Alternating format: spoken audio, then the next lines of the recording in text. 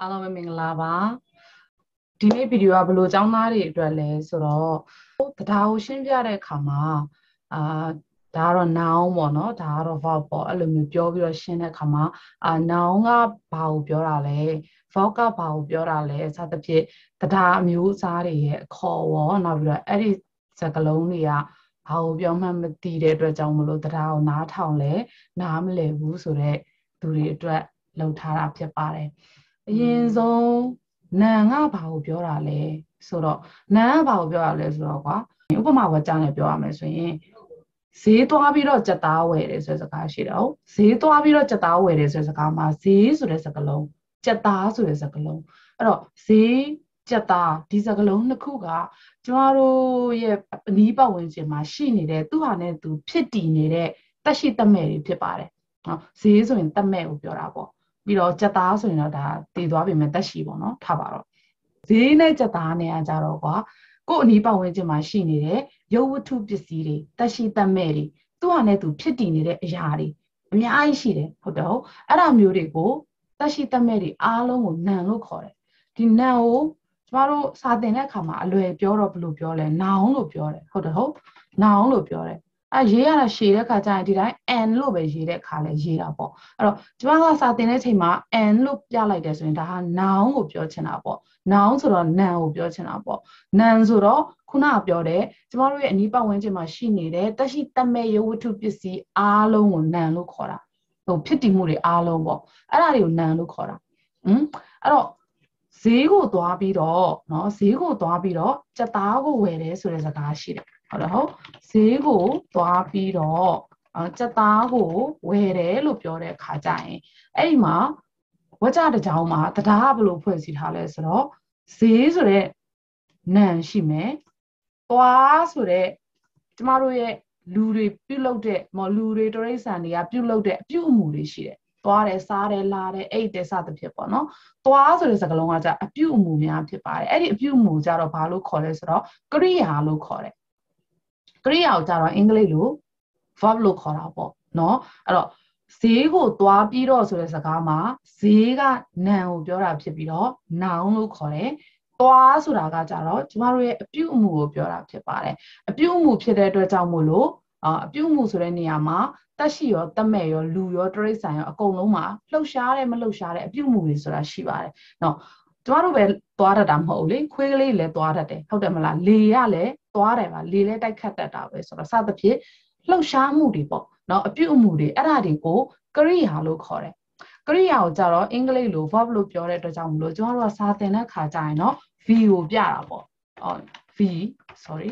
v ကိုပြ v ဆိုရင်ဒါကရိယာလို့ပြောပြချင်တာပေါ့အဲ့တော့ n ဆိုရင် noun ကိုပြောတာ v ဆိုရင်ကရိယာကိုပြောတာအော် v ဆိုရင် verb ကိုပြောတာအဲ့လိုမျိုးသုံးတာနောက်နောက်တစ်ခုပြန်ကြည့်ကြည့်အောင်ဈေးသွားပြီးတော့ကြက်သားဝယ်တယ်ဆိုစကားမှာ ကြက်သားဆိုတဲ့စကားကလည်းခုနကပြောတယ်ကျမတို့ရဲ့ပတ်ဝန်းကျင်မှာရှိနေတဲ့တက်ရှိတက်မဲ့တွေပြထဲမှာပါဝင်တယ်သူရဲ့ဖြစ်တည်မှုကိုပြောတာ哦เนาะကျမတို့ရဲ့လှုပ်ဆောင်မှုမဟုတ်ဘဲနဲ့ဖြစ်တည်မှုကိုပြောတာဖြစ်တဲ့အတွက်ကြက်သားကလည်းနာအောင်ပဲเนาะဒီမှာကလည်းဒါကလည်းနာအောင်ပေါ့ကြက်သားကလည်းနာအောင်ဈေးကလည်းဈေးကလည်းနာအောင်သွားတာကကြတော့ verb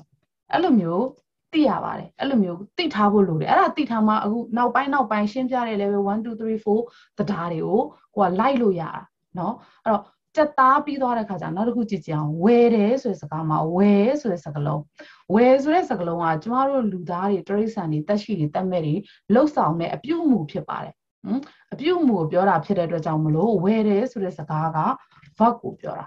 တိလားကရိယာပေါ့ နော်ကရိယာ verb ဖြစ်ပါတယ်အဲ့တော့ဝကြတစ်ကြောင်းမှာဘာနဲ့ဖွဲ့စည်းထားလဲဆိုတော့ noun ရယ်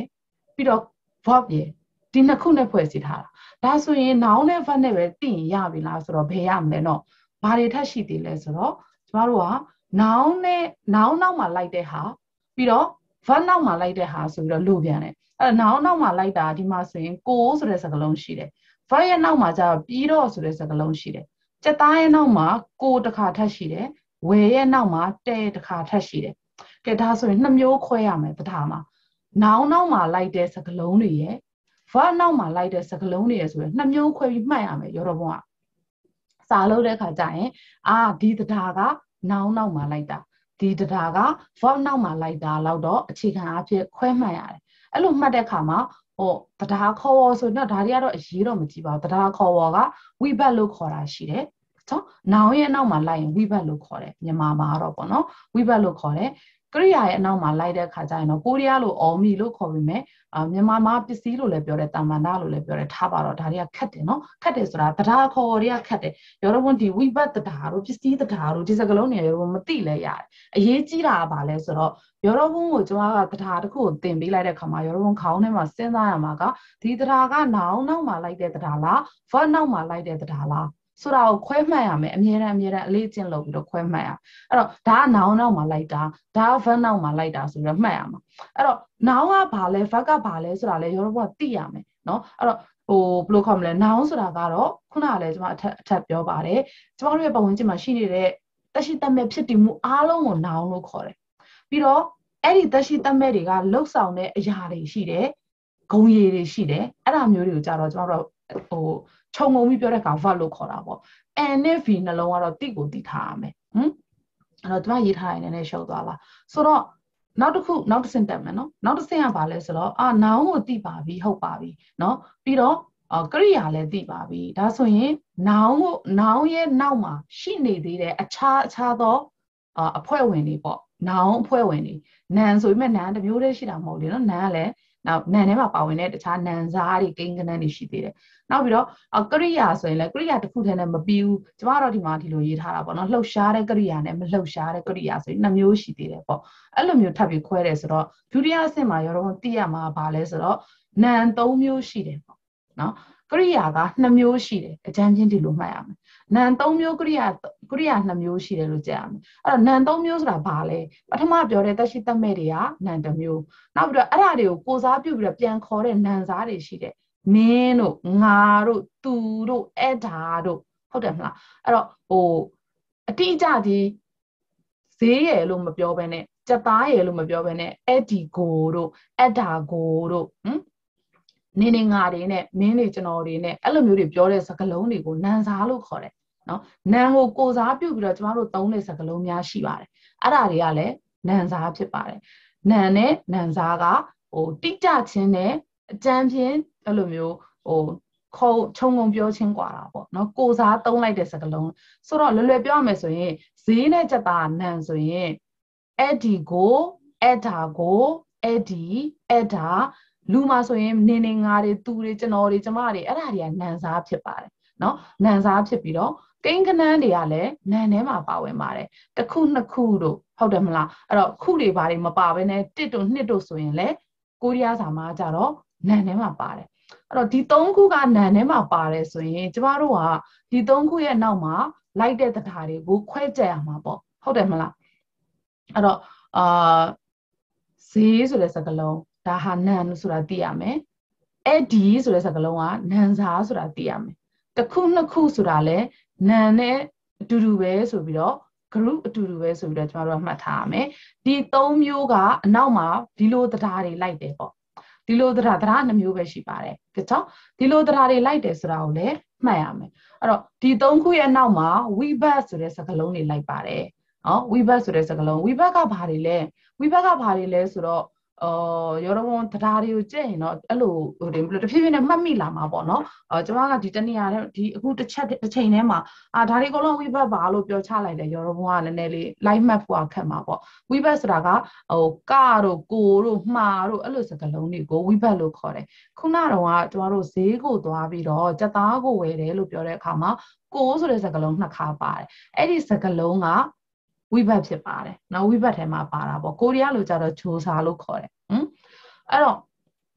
ဝိဘတ်တွေကနန်နဲ့တွဲတယ်ပေါ့နန်က၃မျိုးရှိတယ်ပေါ့အဲ့ဒါမှတ်ထားရမယ်နော်ရောတော့ဘုံကတကယ်လို့တရားအခြေခံကိုတော်တော်လေးအားနေတယ်ဆိုရင်နော်တရားအခြေခံကိုအားနေတဲ့သူကအခုကျွန်မပြောတဲ့ဟာလေးတွေကိုတော့လိုက်နားထောင်ပြီးတော့လိုက်ချရေးပြီးတော့ပြန်ပြီးအနှစ်ချုပ်ပြီးတော့ကိုနားလဲအောင်ကို မှတ်ပြီးတော့ပြန်ကြက်ဖို့တော့လိုပါတယ်အဲ့ဒီအဆင့်ကိုမကြော်ဖြတ်ပဲနဲ့တော့နောက်ပိုင်းနောက်ပိုင်းတရားတွေကိုလိုက်ပြီးတော့နားလဲအောင်ကြိုးစားဖို့ဆိုတာခဲရင်ပါလိမ့်မယ်နော်ကရိယာနှမျိုးကိုပြောကြည့်အောင်ဒါတတိယအဆင့်ပေါ့နော်ကရိယာနှမျိုးဆိုတာက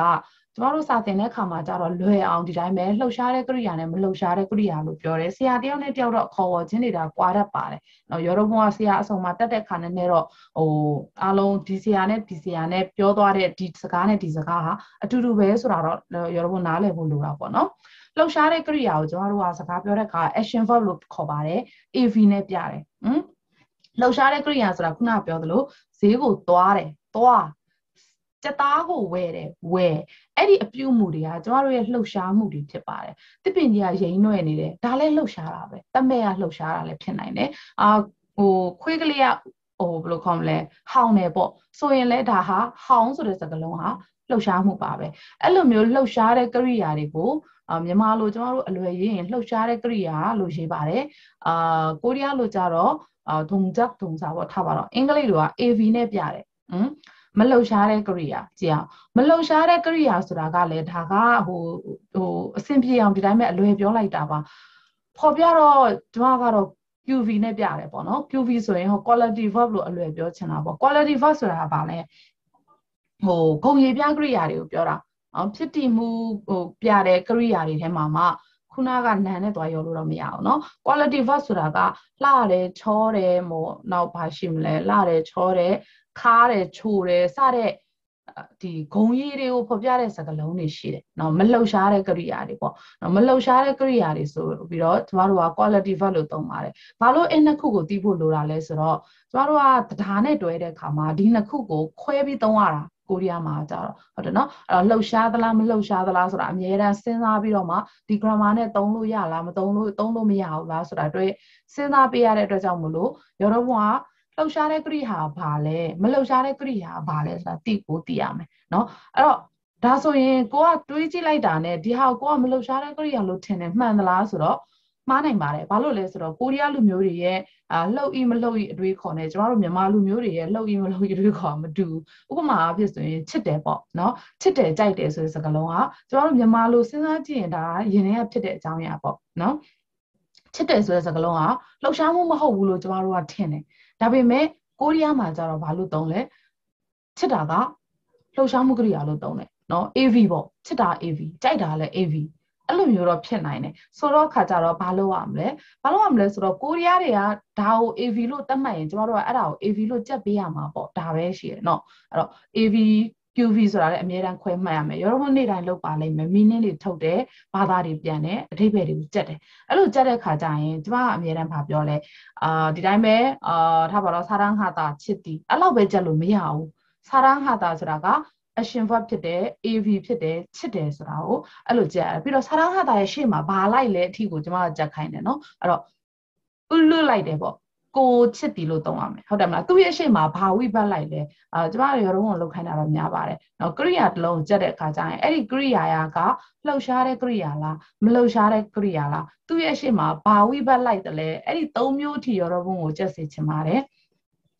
ဒါဟာလှုပ်ရှားတဲ့ကရိယာလားမလှုပ်ရှားတဲ့ကရိယာလားသိအောင်လုပ်ရမယ်မသိရင်စာအုပ်မှာရှာရမယ်အကုန်ရှိတယ်အဘိဓမ္မာလည်းရှိတယ်ကျမကိုမေးလို့လည်းရတယ်ဒါပေမဲ့တခုတော့ရှိတာပေါ့အစာမျက်နှာ6မျက်နှာလောက်ရေးထားပြီးတော့ဆရာမထားတွေဖြည့်ပေးပါဆိုရင်တော့နည်းနည်းအဆင်မပြေဘူးပေါ့နော်အဲ့တော့ရောတော့ဘုံကကိုယ့်အနေကိုအတက်နိုင်ဆုံးစွမ်းကိုစူးစမ်းပြီးတော့ရှာဖွေပြီးတော့မှတ်သားရမယ်ဒီစကလုံးကဒါနဲ့တွဲတယ်ဒီဝိဘတ်နဲ့တွဲတယ်ဒီစကလုံးကလှုပ်ရှားတယ်မလှုပ်ရှားဘူးအဲ့လောက်ကအများအားခွဲသိနေတဲ့အလေးချင်းရှိမှနောက်ပိုင်းနောက်ပိုင်း level မြင့်တန်း တရားတွေကိုလေ့လာတဲ့အခါမှာကိုကကျွန်မပြောလိုက်တဲ့အခါ deck နဲ့ deck နဲ့နားလည်မှာပေါ့နော်နောက်တစ်ခုကနာမဝိသေသနာဆိုတာအော်နာမဝိသေသနာဆိုတာကလွယ်လွယ်ပြောရရင်တော့ဟိုဒီနာမ်ကိုအထူးပြုတဲ့အခါမှသာနာမဝိသေသနာလို့ခေါ်တာပါဒါကိုမြန်မာတရားအနေနဲ့ကြည့်မယ်ဆိုရင်မလှုပ်ရှားတဲ့ကရိယာနဲ့ကျမတို့ကသွားရောနိုင်တယ်နည်းနည်းလေးခွဲမှတ်ရမှာပါလဲဆိုတော့နာမဝိသေသနာဆိုတာကဥမာဆိုရင်အရန်လှတဲ့ကောင်မလေးလို့ပြောတဲ့အခါကျရင်အရန်လှတဲ့ကောင်မလေးလို့ပြောတဲ့အခါကျရင်ဒီမှာ နောက်မှာကောင်မလေးဆိုတဲ့နံရှိတယ်ဟုတ်တယ်မလားအရန်ဟောအစာရှင်တော့ဖြတ်လိုက်မယ်နော်လှတဲ့ကောင်မလေးလို့ပြောတဲ့ခါကျရင်လှတာကလှတာကမလုတ်ကရိယာဖြစ်ပါတယ်ဟမ်လှတာမလုတ်ကရိယာတဲ့ဆိုတဲ့စကားလုံးကိုတွဲလိုက်တော့အဲ့နှစ်ခုပေါင်းလိုက်ရင်ဘာဖြစ်သွားလဲဆိုတော့နာမဝိသေသနာဖြစ်သွားတယ်နော်နာမဝိသေသနာဖြစ်သွားတယ်သူ့ရဲ့အနောက်မှာကောင်မလေးဆိုတဲ့နောင်လိုက်တယ်သူ့ရဲ့နောက်မှာကောင်မလေးဆိုတဲ့နောင်လိုက်ဆိုတော့ နာမဝိသေသနာဆိုတာဘာလဲနောင်ရဲ့အရှိမရှိတဲ့စကလုံးအဲ့ဒါကိုနာမဝိသေသနာလို့ခေါ်တာနောင်ရဲ့အရှိမှရှိတဲ့စကားလုံးနောင်ကိုအထူးပြုတဲ့စကားလုံးပေါ့နော်အဲ့တော့အိမ်အစ်စ်ဆိုရင်ရောအိမ်အစ်စ်ဆိုရင်အိမ်ကနောင်ဖြစ်ပါတယ်နော်အိမ်ကနောင်ဖြစ်ပြီးတော့အစ်စ်ကဒါမြန်မာစာဆိုတော့အနောက်ရောက်သွားတာပေါ့နော်ဒါကနံမလားနံကိုအထူးပြုတဲ့ဒီအစ်စ်ဆိုတဲ့စကားလုံးကနာမဝိသေသနာဖြစ်ပါတယ် နော်နာမဝိသေသနာကနာမ်ကိုအထူးပြုတယ်ဆိုတာမှတ်ထားရမယ်အဲ့တော့အနောက်မှာနောင်ရှိတယ်ဆိုရင်ဒီစကားလုံးကအာဒီစကားလုံးကဟိုနာမဝိသေသနာပေါ့နော်ကိုရီးယားလိုပြောရင်ခွမ်းညောင်းစာပေါ့နော်အဲ့တော့နာမဝိသေသနာအကြောင်းပြောတဲ့အခါကျရင်နှစ်မျိုးဖြစ်နိုင်တယ်အာကိုရီးယားစာနဲ့ပြောမယ်ဆိုရင်ဒီမှာဆိုရင်အာဆဲဂျစ်အိမ်အစ်စ်ဆဲဆိုတဲ့စကားလုံးကနာမဝိသေသနာနောက်တစ်ခုကကြတော့ယေပွန်ညောကြလို့ပြောတဲ့အခါကျရင်ယေပွန်ကနာမဝိသေသနာ ပေါ့နော်အဲ့တော့နောင်ကိုအထူးပြုလိုက်တယ်အိမ်ဆိုတဲ့စကားလုံးကိုအထူးပြုလိုက်တယ်ယောဂျာဆိုတဲ့စကားလုံးကိုအမွှန်းတင်လိုက်တယ်အဲ့တော့ဘယ်တော့ဘယ်ဝါအသေးစိတ်ထပ်ပြီးတော့ဒီနောင်ရဲ့ character ကိုရှင်းပြတာပေါ့ဒီနောင်ကဘလို့နောင်ပါဒီအိမ်ကဘလို့အိမ်ပါဒီကောင်မလေးကဘလို့ကောင်မလေးပါဆိုတာကိုထပ်ရှင်းပြတဲ့စကားလုံးထပ်ရှင်းပြတဲ့စကားလုံးကအခုလိုမျိုးစကလုံးတစ်လုံးတည်းလည်းဖြစ်နိုင်တယ်တီးတန့်ကြီးလည်းဖြစ်နိုင်တယ်အခုလိုတရားနဲ့တွဲနေတဲ့ကရိယာလည်းဖြစ်နိုင်တယ် ဒီဒုတိယတစ်ခုဆိုရင်ပါလဲမလှုပ်တဲ့ကရိယာမှာတရားတွဲပြီးတော့မှနောင်ကိုပြန်ပြီးရည်ညွှန်းထားတာဟုတ်တယ်မလားဒီလိုကောင်မျိုးလည်းဖြစ်နိုင်တယ်ဒီလိုကောင်မျိုးလည်းဖြစ်နိုင်တယ်အဲ့ဒီဆဲရေပွန်းနှမျိုးလုံးဒီခွမ်းညောင်းဖြစ်ပါတယ်ခွမ်းညောင်းနော်ဟိုရည်ညွှန်းတဲ့စကားလုံးတွေပေါ့နော်အဲ့တော့ရည်ညွှန်းတဲ့စကားလုံးကလည်းနောင်ကိုအထူးပြုတဲ့ကောင်ရှိတယ်လို့ရောတော့မှတ်လိုက်ရပါတယ်နော် အဲ့တော့နောင်ကိုအထူးပြုတဲ့ကောင်ရှိတယ်အဲဆိုလေးခုမြောက်ကိုကြည့်ကြအောင်ကရိယာဝိသေသနာသူလည်းတူတူပါပဲကရိယာကိုအထူးပြုရင်ကရိယာဝိသေသနာပေါ့ဟုတ်တယ်မလားကျမတို့ကမြ мян စားမြ мян သွားအော်ကောင်းကောင်းလို့ပြောတဲ့ခါကျရင်အာမြ мян စားကောင်းကောင်းလို့အဲ့လိုပြောတဲ့ခါကျရင်သေချာလို့အဲ့လိုတွေပြောတဲ့ခါကျရင်အဲ့ဒီစားတယ်လှုပ်တယ်ဆိုတဲ့ကရိယာရဲ့အရှိမအဲ့ဒီကရိယာကို ပြန်ပြီးတော့အဲ့လိုမျိုးအသေးစိတ်ပေါ်ပြတဲ့ရည် ဖော်ညွှန်းတဲ့ပေါ့နော်အဲ့တော့ရည်ညွှန်းတဲ့ဖော်ညွှန်းတဲ့စကားလုံးတွေကိုကရိယာဝိသေသနာလို့ခေါ်တယ်အဲ့ဟိုဟိုတထိုင်ထဲမှာကျွန်မအကုန်ပြောသွားတဲ့အတွက်ရောတော့နည်းနည်းရှုံနေကောင်းရှုံနေနိုင်တယ်ဒါပေမဲ့ဓာတ်တွေကိုစာကြည့်အောင်လုပ်လိုက်ရင်အဲ့လောက်ကြီးဟိုခက်တယ်လို့တော့မဆိုသားဘူးပေါ့နော်အဲ့တော့ဒါကအခြေခံရဲ့ရှေ့ပြေစကားဟိုရှေ့ပြေသင်ခန်းစာတွေဖြစ်ပါတယ်ဒါအခြေခံရဲ့ရှေ့ပြေသင်ခန်းစာဖြစ်တဲ့အတွက်ကြောင့်မလို့ အခြေခံထက်လွယ်တယ်လို့ရောတော့မှတ်ယူရမယ်နော်အာကျွန်မပြောတာနည်းနည်းခက်ရင်လည်းခက်နေခက်ကောင်းခက်နိုင်ပါတယ်ကျွန်မနည်းနည်းလေးအာရောတော့ပြောပြချင်တာများနေလို့ဆိုတော့ပြန်ပြီးတော့အနှစ်ချုပ်ရရင်အာတရားဆိုတာဘာမှမသိဘူးအဲ့ဒီအတွက်ကြောင့်မလို့ဆရာမပြောနေတဲ့ noun တွေ verb တွေ adjective တွေကျွန်တော်တို့မသိပါဘူးဆိုရင်ရောတော့ကဒီဟာကိုတော့လုံးဝနားထောင်အစာဆုံးနားထောင်ပြီးတော့ပြန်ချရေးပြီးရင်ထပ်နေတဲ့စကားတွေကိုဖယ်ပြီးတော့အနှစ်ချုပ်လေးကိုရောတော့ကြက်ရမယ် ဒါမှသာရောတော့ဒီအခက်ခဲကိုကြောဖြတ်နိုင်မယ်เนาะအဲ့တော့ဟိုနန်ဆိုတာကတော့ကျမတို့ရဲ့လူမှုပတ်ဝန်းကျင်ကျမတို့ရဲ့ဒီကမ္ဘာလောကကြီးမှာရှိတဲ့တက်ရှိတက်မဲ့ဖြစ်တည်မှုအားလုံးကိုနန်လို့ခေါ်တယ်ကျမတို့မျက်စိနဲ့မြင်ရတဲ့အရာတွေရှိတယ်မမြင်ရတဲ့အရာတွေရှိတယ်အကုန်လုံးကနန်နေပါပဲเนาะအဲ့ဒါတွေကိုကိုစားပြုတဲ့စကားလုံးနဲ့ကျမတို့ကပြန်ပြောတဲ့ခါကျရင်ဒါကိုနန်စားလို့ခေါ်တယ်အရေးအတွက်ကိုကျမတို့ပြောတဲ့စကားလုံးတွေဟာလည်းနန်ထဲမှာပါဝင်တယ်ဆိုတော့ဒီ၃မျိုးရဲ့နောက်မှာလိုက်တဲ့တရားတစ်မျိုးရှိတယ် နော်နောက်ပြီးတော့ကရိယာဆိုတဲ့စကားလုံးရဲ့နောက်မှာလိုက်တဲ့တရားတွေရှိတယ်ကရိယာကိုနှစ်မျိုးပြန်ခွဲလို့ရတယ်လှုပ်ရှားတဲ့ကရိယာနဲ့မလှုပ်ရှားတဲ့ကရိယာ action verb နဲ့ quality verb လို့ပြောလို့ရတယ်နောက်တစ်ခုကကျတော့ noun ကိုညှိုးတဲ့စကားလုံးတွေရှိသလိုကရိယာကိုညှိုးတဲ့စကားလုံးတွေရှိတယ်နော် noun နဲ့ကရိယာကိုညှိုးတဲ့အခါကျရင်လည်းလုံးဝ meaning လေးတစ်လုံးနဲ့ညှိုးလိုက်လို့ရသလိုတီးတဲ့ meaning ပေါ့နော်အဲ့ဒါနဲ့ညှိုးလို့ရသလိုမလှုပ်တဲ့ကရိယာတို့လှုပ်တဲ့ကရိယာတို့မှာ တရားလေးချိတ်ပြီးတော့မှညှိုးလို့လည်းရတယ်။ဟမ်နောက်ပြီးတော့အာပါဠိပါဠိဆိုတဲ့စကားမျိုးအာယေပုခဲလိုမျိုးတည်ရမလားအဲ့တော့စကလုံးတစ်လုံးနဲ့ပဲတမ်းပြီးညှိုးလို့လည်းရတယ်လို့အဲတရားဝင်လာပြီးတော့မှလည်းညှိုးလို့ရတယ်။နော်ရည်ညွှန်းတဲ့အခါကျရင်နှစ်မျိုးဖြစ်နိုင်တာပေါ့။နော်နာမဝိသေသနာပုံစံနှမျိုးရှိနိုင်တယ်ကရိယာဝိသေသနာပုံစံနှမျိုးရှိနိုင်တယ်အခြေခံအဖြစ်ကိုရီးယားတရားကိုသင်ယူတော့မယ်ဆိုရင်ရောတော့ဒီစကလုံးတွေကိုတော့ရင်းနှီးကျွမ်းဝင်နေရမယ်နော် အဲ့တော့အာနောက်တစ်မျက်နှာတစ်ချက်လောက်သွားကြည့်ကြည့်လိုက်အောင်နော်ရောတော့နားတရားချိန်ကြီး၃မျိုးရှိတယ်ကိုတရားတရားမှာမြန်မာမှာကြတော့ဈေးသွားပြီးတော့ကြက်သားကိုဝယ်တဲ့အခါမှာဈေးကိုသွားမှာဘာမှထူးထူးထူးတွေချိန်ထားတာမရှိဘူးနော်ဈေးကိုသွားတယ်ဘယ်သွားတယ်သွားတယ်ပေါ့နော်ကြက်သားကိုဝယ်တယ်လို့ပြောတဲ့အခါမှာလေထိတ်ထားတာဘာမှမရှိဒါပေမဲ့ကိုရီးယားစာအဲ့လိုမဟုတ်ဘူးချိတ်တဲ့အခါကျရင် တရားကခုနကတော့ပြောတဲ့တရားက၃မျိုးရှိနိုင်တယ်ဘီနဲ့စတဲ့တရားတွေရှိတယ်မောဟာဂျီမန်တို့ဟာဂျီမာတို့ဟာခိုတို့တည်မှာအဲ့လိုဘီနဲ့စတဲ့တရားရှိသလိုမမောအာစောအောစောယောစောမမောဟဲရဟဲလိုမျိုးအာတွေအောတွေနဲ့စတဲ့တရားတွေရှိတယ်ဟမ်အာတွေအောတွေနဲ့စတဲ့တရားရှိပြီးတော့နောက်တစ်ခုကအင်းနဲ့စတဲ့တရားတွေရှိတယ်ဟမ်သုံးမျိုးရှိတယ်ကိုရီးယားတရား အဲ့ဒီသုံးမျိုးကချိတ်ပုံချိန်ကြီးမတူဘူးရှေ့မှာဒါအကုန်လုံးကရိယာတွေလာတယ်ဆိုပါစို့နော်ကရိယာတွေလာမယ်ကရိယာတွေလာတဲ့အခါကျရင်တရားကဘလို့ချိတ်လဲဆိုတော့ဒါကကရိယာစကားကိုပြောနေတာနော်ဝိဘတ်ကြောင့်မဟုတ်အဲ့တော့နောင်ကြောင့်မဟုတ်တော့ကရိယာတွေရှိတယ်ကျမတို့ရဲ့စားတယ်တောက်တယ်သွားတယ်လာတယ်ဆိုတဲ့စကားလှတယ်ချိုတယ်ခါတယ်ဆိုတဲ့စကားအဲ့ဒီကရိယာတွေရဲ့အနောက်မှာ ဒီလိုဘီးနဲ့စားတဲ့တရားတွေကိုချိတ်တဲ့အခါကျမတို့ကဘာမှလုပ်စရာမလိုမြန်မာစကားလိုပဲလှတယ်လို့ပဲပြောပြောကောင်းတယ်လို့ပဲပြောပြောသွားတယ်လို့ပဲပြောပြောလှုပ်ရှားတော်ရှိဤမလှုပ်ရှားတော်ရှိအကုန်လုံးကတယ်ပဲသုံးတယ်ဟုတ်တယ်မလားမြန်မာစကားမှာအဲ့လိုပဲကိုရီးယားစကားမှာဘီးနဲ့စားတဲ့တရားတွေကဟို69ရာခိုင်နှုန်းလောက်ကဘီးနဲ့စားတဲ့တရားတွေကဘာလဲဆိုတော့ဒီတိုင်းကတ်ရေးလိုက်ရုံပဲဘလို့ရေးတာရောတော့ဟုတ်မှဆိုရင် အာယေပူဂျီမန်လို့ပြောတာပေါ့နော်ဟောယေပူဂျီမန်လို့ပြောတဲ့အခါယေပူဆိုတဲ့စကားလုံးကဘာမှပြောင်းလဲမှုမရှိဘူးဂျီမန်ဆိုတဲ့တရားနဲ့ဒီတိုင်းလေးကတ်သုံးလိုက်တာအဲ့လိုတရားတွေအများကြီးပဲရှိတယ်နော်ယေပူဂျီမန်နောက်ပြီးတော့မော့ဂျီမန်ပြောတဲ့ခါကျရင်လေမော့ဂျီမန်ဆိုဂျီပါတယ်မဟုတ်လားအော်ချိုင်မော့ကော်တူညောလို့ပြောတဲ့ခါကျရင်ရောချိုင်မော့ကော်တူညောလို့ပြောတဲ့ခါကျရင်လေဒီနေရာတွေမှာအပေါင်းလက္ခဏာပြလိုက်တဲ့နေရာတွေကဘာလို့ထားရလဲ ကရိယာနဲ့တရားကိုတွဲထားတာကရိယာနဲ့တရားကိုတွဲတဲ့အခါဘာမှလုပ်စရာမလိုဘူးကို့အနေနဲ့ကတ်ရေးလိုက်ရုံပဲဆိုတဲ့တရားမျိုးစားတွေရှိတယ်တရားနံပါတ်1လို့သဘောထားရအောင်နော်예쁘지만뭐먹지만잘먹거든요예쁘게해주세요အဲ့လိုပြောတဲ့အခါမှာသုံးတဲ့စကားလုံးအနေကဒါကကိုယ်အနေနဲ့ဘာမှစဉ်းစားပေးစရာမလိုတဲ့တရားချိန်ကြီးများဖြစ်ပါတယ်နံပါတ်2ကိုကြည့်ကြည့်အောင်နံပါတ်2ကကြတော့ချိတ်တော့မယ်ဆိုရင်ဘာကိုစဉ်းစားရလဲဆိုတော့예쁘다 ဒီပူတာကနောက်ဆုံးတရကဘာလဲဆိုတာစဉ်းစားရတယ်နောက်ဆုံးတရကအပေါ့ဟုတ်တယ်မလားရေပူတာရဲ့နောက်ဆုံးတရကအနောက်ပြီးတော့ခုနပြောတဲ့မော့ကက်မော့ကက်တရကအောဖြစ်ပါနော်ခြိုင်းမော့တာအဲ့ဆိုရင်ဒါတွေကိုကြည့်ပြီးတော့မှကရိယာရဲ့နောက်ဆုံးတရကိုကြည့်ပြီးတော့မှချိတ်ရတဲ့တရားတွေရှိတယ်အဲ့ဒါကအာဩတရားလို့ခေါ်တယ်ကျမတို့ကဟမ်အာဩတရား ဟိုအာဆိုရင်အိုးအာဆိုအာနဲ့ချိန်မယ်ဆရာမတွေသင်ပေးတယ်မလားအိုးအာဆိုရင်အာနဲ့ချိန်မယ်ကျန်တာဆိုရင်အောနဲ့ချိန်မယ်ဟာဆိုရင်ယောနဲ့ချိန်မယ်ဖဲအနေနဲ့အသုံးများတယ်အဲ့လိုတော့အဲ့လိုသင်တယ်ဟုတ်တယ်မလားဒီ grammar တွေအားလုံးဒီ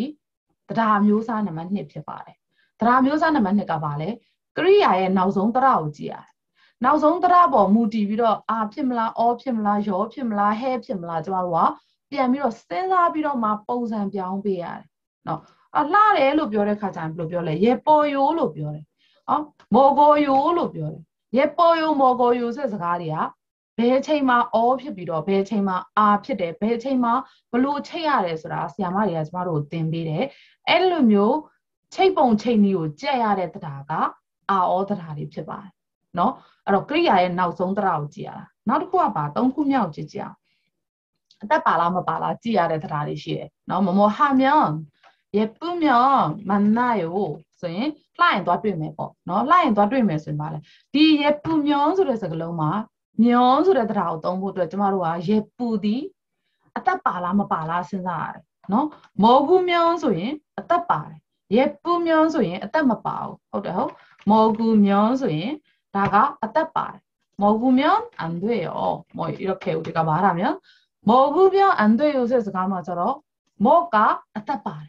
ရေပုကအသက်မပါဘူးအဲ့တော့ကရိယာရဲ့နောက်ဆုံးစကလုံးကအသက်ပါလားမပါလားကိုကြည့်ပြီးတော့မှခွဲသုံးရတဲ့တရားဆိုပြီးတော့ရှိပါတယ်အဲ့တော့ယောရဘွန်ဟိုဘယ်လိုခေါ်မလဲနောင်တွေဖတ်တွေကိုတည်သွားပြီဆိုရင်နောက်တစ်ဆင့်မှာယောရမှတ်သားမှာပါလဲကိုရီးယားတရားချိတ်ပုံချိန်ကြီး၃ခုရှိတယ်မြန်မာတရားလိုမျိုးကတ်ရည်တဲ့ကောင်ရှိတယ်ကရိယာရဲ့နောက်ဆုံးတရားကအိုး အာနောက်ဆုံးကရိယာရဲ့နောက်ဆုံးတရားကအာအောယောဘယ်ဟာနဲ့ချိန်ရမလဲဆိုတာစဉ်းစားပြရတဲ့တရားရှိတယ်ပြီးတော့ကရိယာရဲ့နောက်ဆုံးစကားလုံးက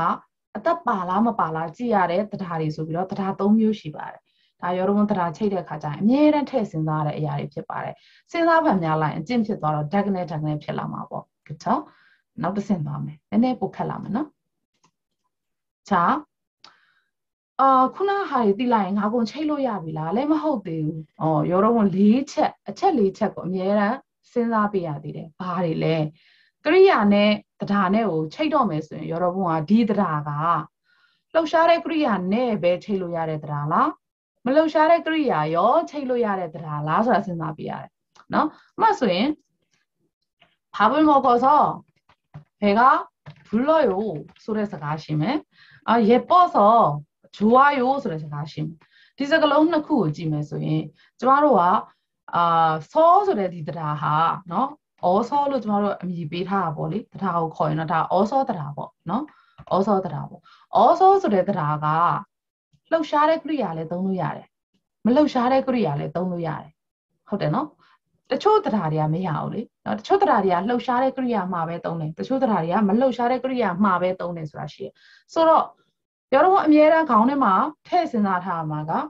အာလှုပ်ရှားတဲ့ကရိယာနဲ့ပဲသုံးရတာလားမလှုပ်ရှားတဲ့ကရိယာနဲ့ပဲသုံးရတာလားနှစ်မျိုးလုံးကြိုက်တယ်လို့သုံးလို့ရသလားဆိုတာကိုစဉ်းစားရမယ်ဆရာမကျွန်တော်တို့အခုမှ level 1 2ကျွန်တော်တို့ကဘယ်လိုစဉ်းစားတတ်မှာလဲဆိုရင်မေးရမှာပေါ့နော်မေးပြီးတော့မှတ်ရမှာပေါ့မှတ်ပြီးတော့ကြက်ရမှာပေါ့အလေးချင်းဖြစ်သွားအောင်လုပ်ရမယ်အမြင်တမ်းတွေကိုဆက်သွားဖို့ရည်ရွယ်ထားတယ်ဆိုရင်ဒါတွေကကြီးလိုက်တာနဲ့ကိုယ့်နဲ့ကိုယ်ခွဲခြားတတ်တဲ့အဆင့်ထိရောက်အောင်ကိုအလေးချင်းလုပ်ရမယ် နော်အဲကျွန်တော်တို့လည်းငယ်တုန်းက level 1 2စတင်တော့မသိခဲ့ပါဘူးဒါပေမဲ့သင်ရင်သင်ရင်သင်ရင်ကြာတဲ့အခါမြင်လိုက်တာနဲ့သိသွားပြီအာဒီလိုလုပ်ရင်ရတယ်ဟိုလိုလုပ်ရင်ရတယ်ပေါ့နော်အဲ့လိုဖြစ်လာအောင်ရောတော့လေ့ကျင့်ရမယ်ဆိုတော့စဉ်းစားရမယ့်နံပါတ်1အချက်ကလှုပ်ရှားတဲ့ကရိယာနဲ့ပဲသုံးတာလားမလှုပ်ရှားတဲ့ကရိယာနဲ့ပဲသုံးတာလားနှစ်မျိုးလုံးနဲ့သုံးလို့ရတာလားနောက်တစ်ခုကပါလဲအချိန်ကာလကြိုက်တယ်လို့သုံးလို့ရတာလားเนาะအချိန်ကာလကြိုက်တယ်လို့သုံးလို့ရတာလားဥပမာ also ပဲပြန်ပြောကြည့်အောင်ဒီဒရာကဗတူးနဲ့သုံးလို့မရအောင်เนาะ ဘောကစောစောဖေကဘူးလို့ယူဆိုတာမရှိဘူးတလို့ရေပေါ့စောစောချူဝါယူဆိုတာလည်းမရှိဘူးဆိုလိုချင်တာကအောစောဆိုတဲ့တရားကဗတ်တူးနဲ့သုံးလို့မရအောင်နော်ဗတ်တူးနဲ့သုံးလို့မရအောင်ဒါပေမဲ့ဂိုးဆိုတဲ့တရားကကြတော့သုံးလို့ရတယ်ဆိုပါစို့အချိန်ကာလဗတ်တူးတို့ get တို့အနာဂတ်တို့အဲ့ဒါမျိုးတွေ for one ဗတ်တူးအနာဂတ်နောက်အဲ့ဒါမျိုးတွေကိုစိတ်ကြိုက်သုံးလို့ရသလားဆိုတာလည်းရောတော့ဘုံကစဉ်းစားရတယ်နော်ဒီကရိယာနဲ့ဒီတရားကိုငါချိတ်လိုက်တဲ့အခါမှာငါဗတ်တူးပြောင်းလို့ရလား ing ပြောင်းလို့ရလားနော်နောက်ပြီးတော့အနာဂတ်ပြောင်းလို့ရသလားဆိုတာအများတန်းထည့်တွေးရတယ်တတိယချက်ကဘာတွေးရသေးလဲဆိုတော့ပြုလုပ်သူကတယောက်တည်းဖြစ်ရမှာလားဆိုတာတွေးရတယ်အဲ့ဒါဘာကိုပြောရလဲကျမတို့ကဝကြတွေကိုဘယ်သူမှတကြောင်နဲ့မပြောဘူးအများတော့ဝကြတွေကိုဆက်ပြီးတော့အရှိကြီးပြောတာအဲ့လိုပြောတဲ့ခါကျရင်ပထမဝကြမှာပြောလဲဥမာဈေးကိုသွားပြီးတော့ကြက်သားကိုဝယ်တယ်ဆိုတဲ့စကားမှာနော်ဈေးကိုသွားပြီးတော့ကြက်သားကိုဝယ်တယ်ဆိုတဲ့စကားမှာပြုလုပ်သူကတယောက်တည်းဖြစ်ပါတယ်နှစ်ယောက်သုံးလို့မရဘူး 어? 시장에 가서 어? 시장에 가서 고기를 사요. 시장에 가서 고기를 사요. 그래서 가서니 비비하면은 어? 시장에 가서 고기를 사요. 그래서 가마 아니 아다리 배야 외래 맛가 외라라 제도와 외라라 생가 제도와 외래 제오 도와비로 저다 외 아다 외래로 뼈래 가자잉 어 제도와래 그래서 그로마 제도와라 랭아 외라 랭아 내가 시장에 가서 우리 동생이 고기를 사요로 떠로 매야. 솔로 전화 띠에 몰라. 알아. ဝကြတွေကိုကရိယာတွေကိုနှစ်ခုသုံးခုစင့်ပြီးပြောတဲ့အချိန်ကိုရောက်လာတဲ့အခါကျရင်ကျမတို့စင့်သုံးလိုက်တဲ့ကရိယာတွေကရှေ့မှာရှိတဲ့ဒီပြုလုပ်သူပေါ့နော်အဲ့ဒီကရိယာကိုပြုလုပ်တဲ့သူကတယောက်တည်းဖြစ်ရမယ့်ဝကြတွေရှိတယ်နှစ်ယောက်ဖြစ်လို့ရတဲ့ဝကြတွေရှိတယ် အများအားကျမပြောတယ် Lirago ဆိုတဲ့ grammar level 3 4လောက်မှာရောတော့သင်ရပါလိမ့်မယ် Lirago ဆိုတဲ့ grammar ဆိုရင်ပြုလုပ်တဲ့သူတယောက်တည်းဖြစ်ရမယ်ဒီလူကဒါကိုလုပ်ပြီးတော့ဒီလူကဒီလိုဖြစ်တာမျိုးပဲသုံးလို့ရတာဒီလူကဒါကိုလုပ်နေလို့ဟိုလူကဟိုဟာဖြစ်သွားတယ်သုံးလို့မရဘူးเนาะဆိုတော့တတိယချက်မှာရောတော့စဉ်းစားရမှာကဒီကရိယာနဲ့ဒီတရားကိုငါတွဲသုံးတဲ့အခါကျရင် ပြုတ်လုပ်တဲ့သူကတယောက်တည်းဖြစ်ရမှာလားအာအကျိုးနဲ့အကြောင်းမှာတက်ရောက်မှုမှာလူနှစ်ယောက်ဖြစ်နေလို့ကောရသလားဆိုတာလည်းထည့်တွေ့ရတယ်နောက်တစ်ခုကဘာလဲဆိုတော့ဝကြပုံစံအားလုံးသုံးလို့ရသလားဘာကိုပြောရလဲဆိုတော့ဝကြအဆုံးသက်ကိုပြောချင်တာဖြစ်ပါတယ်ဝကြအဆုံးသက်ဝကြအဆုံးသက်ဆိုတာကဟိုးအနောက်ဆုံးမှာစေခိုင်းတဲ့ဝကြဖြစ်လို့ရလား နေခွန်းဖြစ်လို့ရသလားเนาะဝကြမျိုးစားရအများကြီးရှိတယ်တို့တွေအတူတူရုပ်ရှင်သွားကြည့်ရအောင်ဆိုတော့အဲ့လိုမျိုးအားလုံးလောက်ကြစို့ဆိုတဲ့အဲ့လိုမျိုးစုဝေးတိုင်ပင်တဲ့ဟာမျိုးဖြစ်မလားဒါမှမဟုတ်ရင်လောက်ပါဆိုတဲ့စေခိုင်းမှုဖြစ်မလားတလားဆိုတဲ့မေးခွန်းဖြစ်မလားဘလို့ဝကြမျိုးမှာမဆိုသုံးလို့ရတဲ့ grammar လားဒါမှမဟုတ်ရင်ဒီလိုဝကြဒီမှာပဲသုံးလို့ရတဲ့ grammar လားဆိုတာလည်းရောတော့စဉ်းစားပေးရတယ်ဟမ်စဉ်းစားကြရတော့အများကြီးပေါ့ နော်အဲ့ဒါမျိုးတွေကိုစာသင်ရင်းနဲ့ကျမကထူးခြားတဲ့အရေးကြီးတဲ့ထင်တာလေးတွေလောက်ကိုပြောသွားတာပေါ့နော်ဒါပေမဲ့ topic topic 2ကိုသင်တဲ့အခါကျတော့ topic 2စာအုပ်ကြီးအရန်ထူတယ်ကျွန်တော်တို့အချိန်တော်တော်ပေးရတယ်အများကြီးရှင်းပြရတယ်ဒါကြောင့်မို့လို့ခုလိုမျိုးတရားအခြေခံတွေ အာဒါတွေဒါတွေဒါတွေရောတော့ထည့်တွေးမသိရင်ကျမကိုမေးဆိုတဲ့အဆင့်တွေကိုကျမ skip လုပ်လိုက်တာပေါ့နော်ကျမကြော်လိုက်တယ်အဓိပ္ပာယ်နဲ့အကျမ်းဖြင့်လောက်ပဲဒီလိုချိတ်တယ်နော်လောက်ပဲပြောသွားတဲ့အခါမှာနားမလည်မှုတွေရှိလာတာပေါ့နော်အဲ့တော့ရောတော့ဘုံကကျမနည်းနည်းလေးမြန်အောင်သင်လိုက်တဲ့အခါမှာကျမနည်းနည်းလေးအာခြံလိုက်တဲ့အခါမှာနားမလည်တဲ့အခါကျရင်ရောတော့ဘုံစဉ်းစားရမယ့်ချက်တွေကဒါမျိုးတွေဖြစ်ပါတယ်ဒါတွေကို focus ထားပြီးတော့ကျမကိုပြန်မေးပါစဉ်းစားကြည့်ကြည့်ငါမသိဘူးဆိုရင်ပြန်မေးရမယ် နော်အရင်ဆုံးသိအောင်ကိုကရှာကြည့်တဲ့နည်းလည်းရှိတယ်နော်အင်တာနက်မှာရှာလို့ရတယ်လို့အဘိဓမ္မာလည်းရှာလို့ရတယ်လို့ဝက်ကြောက်စစ်စစ်ကြီးထိုင်ကြည့်နေရင်လည်းပေါ့တယ်ဒီဝက်ကြောက်တေးချာကြည့်ရင်ဒီကောက်ရဲ့ဒီ grammar နဲ့ဒီ Kriya ရဲ့ character ပေါ်ပါတယ်အဲ့ဒါမျိုးလည်းကြည့်လို့ရတယ်ဒါပေမဲ့ဆိုပါတော့ဆီယမဆီယမဆိုတော့ပေါ်မှာပေါ့ဟုတ်တယ်မလားအဲ့တော့ရောတော့ဘုံလည်းတဖြည်းဖြည်းနဲ့အဲ့လိုမျိုးကြည့်လိုက်တာနဲ့အာ ဒီကောင်ကဒါနဲ့ပဲရမှာဟိုကောင်နဲ့မရတော့ဘူးဆိုတဲ့အတွေးမျိုးဝင်တဲ့အဆင့်ကိုရောက်ဖို့အတွက်ကဒီနေ့ကျွန်မပြောလိုက်တဲ့တရားမတင်ခင်သိရမယ့်အခြေခံတွေပေါ့ဒါမျိုးတွေကိုနည်းနည်းလေးဟိုအလေးအကျင့်လုပ်ယူရမယ်နော်ရေရှည်လေ့ကျင့်ဖို့တော့လိုပါတယ်နော်အဲ့တော့ဖြစ်စေချင်တာတော့အစွမ်းကုန်ကိုယ့်ဘက်ကအရင်လုပ်ကြည့်ပေါ့နော်မရတဲ့ခါကျရင်ကျွန်မကိုပြောပေါ့ဟုတ်ကဲ့နောက်တစ်ဆုံးတစ်ခုကပါလဲဆိုတော့တရားတွေက၄၅ဒါတော့လည်းပဲအမြင့်တန်းရောက်လာတဲ့ခါကျရင်တရား၄၅ခုကိုစင့်သုံးရတာရှိတယ်အဲ့လိုစင်ကဲသုံးရတဲ့ခါကျရင်အားလုံးမှာနံပါတ်စင်ဆိုတာရှိပါတယ်စိတ်ကြိုက်အာဒီတရားဟိုတရားဟိုငါနေရာတစ်ချက်ထားလို့ဟိုနေရာငါထားချင်လို့ထားလိုက်မယ်ဆိုတော့အဲ့လိုတော့သုံးလို့မရဘူးပေါ့နော်အများတန်းအာရှည်ဆိုတဲ့စကားလုံးယဉ်ကျေးမှုပြစကားလုံးအရင်သုံးရတယ်သူ့ရဲ့နောက်မှာ အတိတ်လိုက်တယ်ပြီးရဲ့နောက်မှာမှာခံမှန်းဆိုတဲ့အနာဂတ်လိုက်တယ်ပေါ့နော်ပြီးတော့မှအတွေ့အကြုံဆိုတဲ့ဒေါ်လိုက်ပါတယ်အဲ့တော့ဒီလေးလုံးတွဲတော့ကြက်ထားမှာပေါ့ဒီလေးလုံးတွဲ flow နဲ့သွားရမယ်နော် she or get တော်တာလောက်ကြက်ထားတယ်ဆိုရင်နောက်ပိုင်း grammar တွေ၄၅ခုစင့်ကဲတဲ့အခါအာယဉ်ကျေးတဲ့ကောင်ရှေ့ဆုံးမှာထားရမယ်အတိတ်ကိုနောက်မှာထားရမယ်ခံမှန်းကိုနောက်မှာထားရမယ်ပြီးတော့မှအတွေ့အကြုံပြန်တွေးခြင်းတွေကိုထည့်ရမယ်စသဖြင့်ပေါ့နော်အဲ့လိုမျိုးဒီလေးလုံးတွေကိုတစ်ချက်ကြက်ထားဖို့လိုပါတယ်ဒီမှာအဓိပ္ပာယ်ပါလဲ 얘기들어보니까많이화나셨겠더라ဆိုတဲ့စကားမှာအာဟိုထားပါတော့အဖေကအရန်စိတ်ဆိုးနေတယ်ပေါ့နော်အဖေကအရန်စိတ်ဆိုးနေတယ်ဒါမှမဟုတ်ရင်အဖေကအရန်စိတ်ဆိုးပြီးတော့အာတားဖြစ်တဲ့သူကိုအာခုနှစ်ကောက်ပေါက်လိုက်တယ်ပေါ့အဲဒါအစပိုင်းကိုကအကျိုးကြောင့်မသိတဲ့အခါမှာအာပေါက်ခလို့ခုနှစ်ကောက်ပေါက်ရသလားဆိုပြီးကိုကနည်းနည်းလေးအဖေကိုအထင်လွဲကောင်းလွဲနိုင်တယ်ပေါ့ဒါပေမဲ့အကျိုးကြောင့်နားထောင်ကြည့်လိုက်တဲ့အခါမှာဒီသားလောက်လာတဲ့ကိစ္စတွေကအဖေကခုနှစ်ကောက်ပေါက်မယ်ဆိုလဲ ပေါက်လောက်တယ်ဟုတ်တယ်မလားစိတ်ဆိုးလောက်ပါတယ်လို့ပြောရင်စိတ်ဆိုးတယ်ဆိုတဲ့စကားရဲ့အနောက်မှာအဖေမို့လို့ရှီကိုထည့်ပြီးတော့ပြီးခဲ့တဲ့ကိစ္စဖြစ်တဲ့အတွက်အတိတ်ကိုထည့်ပြီးတော့ဖြစ်လောက်ပါတယ်ဆိုတဲ့မှန်းဆချက်နဲ့ဒါကိုမြင်ခဲ့တယ်ဆိုတဲ့ငါရဲ့အတွေ့အကြုံပြန်တွေးချင်းထော်ကိုထည့်ပြီးတော့ သုံးထားတာကိုရောတော့ဘုံအလွတ်ကျက်ထားမယ်ဆိုရင်တခြားတခြားဝကြတွေမှာလည်းဘယ်ကောင်ကအရင်လာလောက်တယ်ဆိုတာတဖြည်းဖြည်းနဲ့မှန်းတတ်မှာပါเนาะအဲ့တော့ grammar တွေ၄၅ခုဆင့်လာတဲ့ kit ကိုရောက်လာတဲ့အဲ့ဒီ level ကိုရောက်လာတယ်ဆိုရင်လည်းအဲ့ဒီ level မှာကိုကအာဟို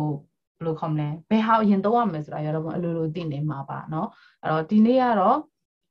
ဟိုဆရာမပြောတဲ့ noun တွေ verb တွေကိုမသိဘူးဆိုတော့ကျမတို့မောင်နှမတွေအတွက်အာအခြေခံ အခြေခံပေါ့နော်အခြေခံဆိုပေမဲ့လည်းနောက်အနောက်ပိုင်းလေးတွေနည်းနည်းတော့ခက်တယ်ဆိုတော့ပြောတော့ခုနကပြောသလိုပဲအစအဆုံးသားထောင်ပြီးတော့လိုက်ပြီးတော့ခြာရေးပါခြာရေးပြီးတော့ထပ်နေတဲ့အကြောင်းအရာတွေကိုဖယ်ပြီးတော့အရေးကြီးတဲ့အနှစ်တွေကိုရောတော့ကြက်မှတ်ထားဖို့လိုပါတယ်အမြဲတမ်းအလေးကျင့်ရအောင်လည်းလေ့ကျင့်သွားဖို့လိုပါတယ်လို့ကျေးဇူးတင်ပါတယ်